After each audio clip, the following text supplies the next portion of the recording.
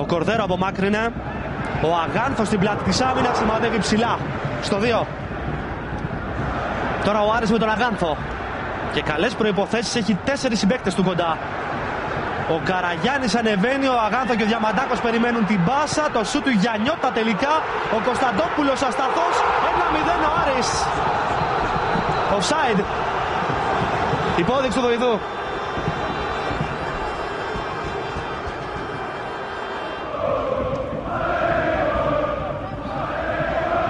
Ο Πουλίδο έχει να βρεθεί στην περιοχή.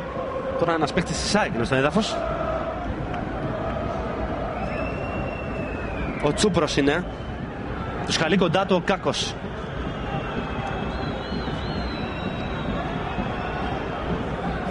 Και βγάζει κάρτα.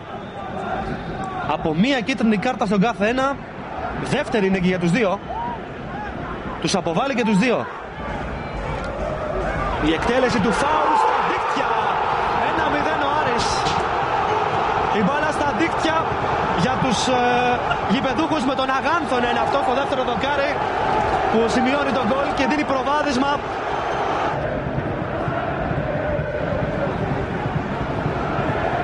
Έχει βγάλει κόκκινη σε ποιον; Στον Αγάνθο Γιατί έβγαλε τη φανέλα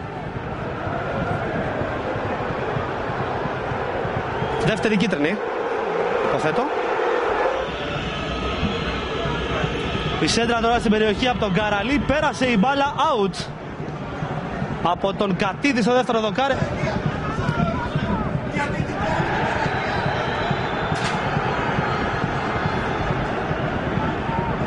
Μία ακόμη κίτρινη κάρτα εδώ από τον Κάκο. Κι άλλη κίτρινη, κόκκινη στο Βαλεντίνο Βλάχο.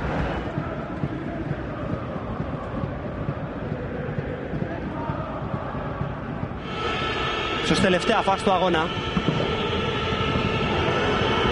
Η σέντρα στην περιοχή, ο Πετρόπουλος 1-1. Η ΑΕΚ ισοφαρίζει στο έκτο και τελευταίο λεπτό των καθυστερήσεων από την αδράνεια στο κέντρο της άμυνας του Άρη. Σκοράρει για δεύτερη συνεχόμενη αγωνιστική. Όντας αμαρκάριστος στην καρδιά της περιοχής. Και τώρα ολοκληρώνεται το μάτσα τον Κάκο με ένα-ένα τελικό αποτέλεσμα.